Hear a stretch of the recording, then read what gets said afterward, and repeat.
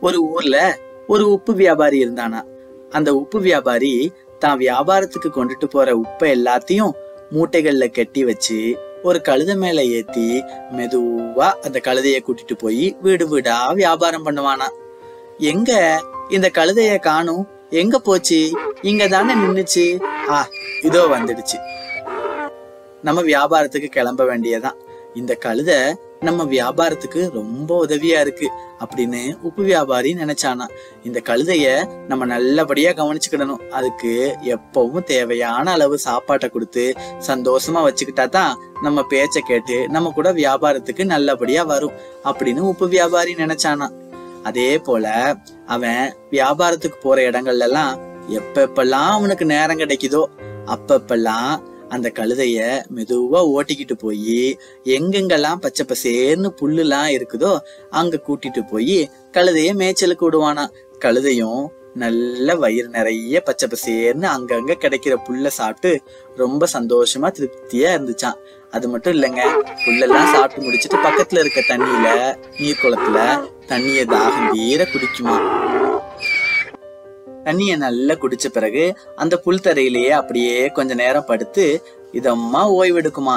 கழுதைக்கும் அந்த வியாபாரிய ரொம்ப பிடிச்சிருந்துதான் ஒரு நாள் அந்த உப்பு வியாபாரி பக்கத்துல இருக்க ஊருக்கு போய் உப்பை வியாபாரம் பண்ணணும் அப்படின்னு முடிவு பண்ணானா. அதுக்கு கழுதையோட முதுகுல உப்பு மூட்டைகளை ஏத்திக்கிட்டு பைய ஆத்தங்கர பக்கமா வந்தானா. ஆத்த கடந்து போனாதான் பக்கத்து ஊர் வருமா. கழுதை மெதுவா மூட்டையோட தண்ணிக்குள்ள இறங்குச்சான்.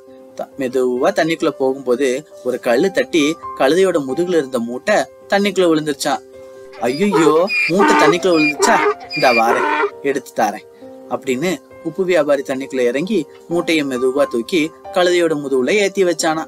கழுதை அந்த மூட்டையை தூக்கிக்கிட்டு அப்படியே அவங்க கூட நடந்து வந்துச்சான்.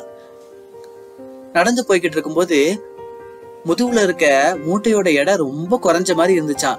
என்ன அப்படின்னு பார்த்தா தண்ணியில உப்பு மூட்டை விழுந்ததுனால உப்பு கொஞ்சம் கொஞ்சமா கரைஞ்சிச்சான். கரைஞ்சதுனால மூட்டை ரொம்ப லேசா இருந்துச்சான். கழுதைக்கும் தூக்கிட்டு போறதுக்கு ரொம்ப சுலபமா இருந்துச்சான்.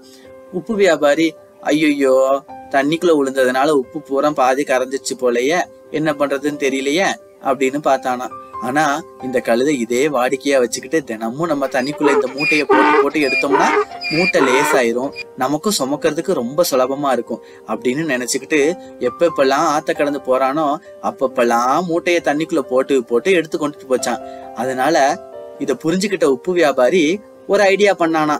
அவன் மூட்டையில ஒரு நாள் உப்புக்கு பதிலா பஞ்சு அள்ளி வச்சு கட்டி வச்சிருந்தானா கழுதை பஞ்சு மூட்டையை தூக்குனது. என்ன இந்த மூட்டை லேசா இருக்கு? இருந்தாலும் பரவாயில்ல தண்ணிக்குள்ள போட்டா இன்னும் லேசா இருக்கும் அப்படின்னு நினைச்சுக்கிட்டு தண்ணிக்குள்ள பஞ்சு மூட்டையை போட்டுட்டு வழக்கம் போல அடுத்த கரை ஏறிடுச்சான். அதே மாதிரியே உப்பு வியாபாரி வந்து அந்த பஞ்சு மூட்டையை தூக்கி கொண்டு போய் கழுதையோட முதுகுல ஏத்துனானா பஞ்சு என்ன செஞ்சுச்சான் தண்ணிய பூரா நல்ல உறிஞ்சி பெரிய மூட்டையாகி ரொம்ப வெயிட்டாவும் கனமாவும் இருந்துதான் கழுதைக்கு அதை முதுகுல தூக்கி வச்சு கொண்டு போகவே முடியலையா ஐயோ இது என்ன இவ்வளவு கனமா இருக்கு? அம்மா முடியல சாமி என்னால. அப்பா நான் என்னடா எப்பவும் தண்ணிக்குள்ள போட்டு எடுத்தா லேசா இருக்கும். இன்னைக்கு ரொம்ப கனமா இருக்கே என்னால முடியல. அப்படின்னு கழுத உப்பு மூட்டையை கீழே போட்டுட்டு அப்படியே கீழே உட்காந்துச்சான் அப்பதான் அது யோசிச்சு பார்த்துச்சான். இந்த வியாபாரி நம்மளை எவ்வளவு சந்தோஷமா வச்சுக்கிட்டான். அவனுக்கு இத்தனை நாள் நம்ம நஷ்டத்தை உண்டாக்கிட்டோமே. நம்ம பண்ணின வேலை இப்ப நமக்கே பிரச்சனையா வந்து முடிஞ்சிடுச்சே அப்படின்னு உணர்ந்துச்சான். அன்னையில இருந்து வியாபாரிக்கு உண்மையா நடந்துக்குச்சான். மூட்டைய பத்திரமா தண்ணி படாம எடுத்து கூட்டிட்டு போய் அடுத்த கரையில கொண்டு போய் சேர்த்துச்சான். கழுத தன்னோட வசதிக்காக தினமும் உப்பு மூட்டைய தண்ணியில முக்கி முக்கி எடுத்துச்சு. அதுவே ஒரு நாள் அதுக்கு பிரச்சனையா வந்து முடிஞ்சது. இதத்தான் தன்வினை தன்னை சுடும்னு சொல்லுவாங்க. தனக்கு கஷ்டம் வர வரைக்கும் தான் வியாபாரிக்கு மறைமுகமா நஷ்டத்தை உண்டாக்குறோம் அப்படிங்கறத கழுத உணரவே இல்லை. நம்மளும் இது போல இருக்கக்கூடாது. நம்ம எதை செஞ்சாலும் நம்மளால அடுத்தவங்களுக்கு எந்த பிரச்சனையும் இல்லாத மாதிரி பாத்துக்கணும். இது மாதிரி கதையை கேட்கும்போது மனசுக்குள்ள ஒரு சின்ன சந்தோஷம் வருது இல்ல தொடர்ந்து கதைகளை கேட்கறதுக்கு கண்டிப்பா நம்ம சேனலை சப்ஸ்கிரைப் பண்ணி வச்சுக்கோங்க. மறக்காம இந்த வீடியோக்கு ஒரு லைக் கொடுங்க. நன்றி.